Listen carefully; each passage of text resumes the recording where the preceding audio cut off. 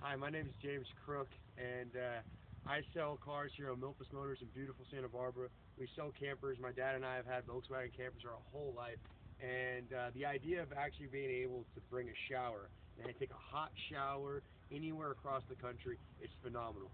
These things are amazing. Everyone loves them. Everyone talks about them. Everyone talks about taking that road trip but it's just difficult when you know, especially if you want to bring a girl or someone.